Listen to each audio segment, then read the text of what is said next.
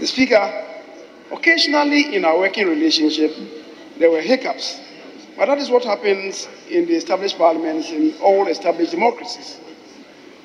The Honorable Haruna Iddrisu have become part of me for the past six years that we worked together.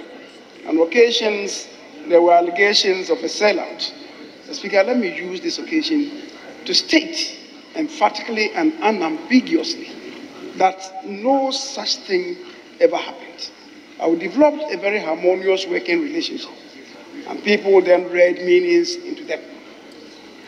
The business of the minority leader to assist the majority leader in facilitating government work program. And if a person does that, that should not be perceived as selling out to majority. Mr. Speaker, I wish all the former leaders whose names I've mentioned, Haruna Iddrisu, James Avedzi Klutse, and the Honorable Muntaka Mubarak Mohammed, very well wherever they find themselves.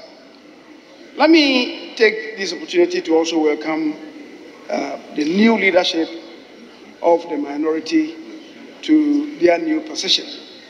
Trust that as leadership, we can work together to build parliament